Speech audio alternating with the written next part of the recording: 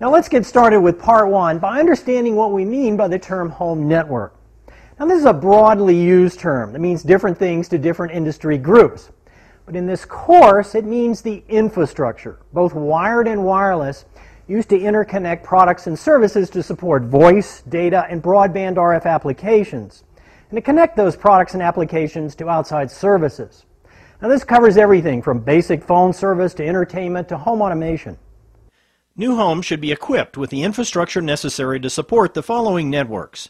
Traditional voice telephone service, data networks, broadband RF networks, control networks including automation and security, and audio and video entertainment system networks. The majority of these networks rely on a structured cabling infrastructure, the communications backbone of the house. And the design and installation of this infrastructure is one of the things we're going to be focusing on in this course.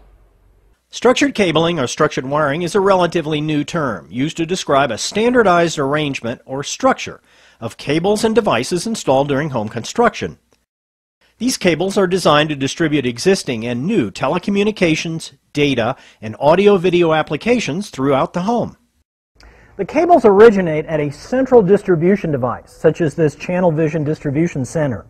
And each cable branches from here to outlets or devices throughout the home.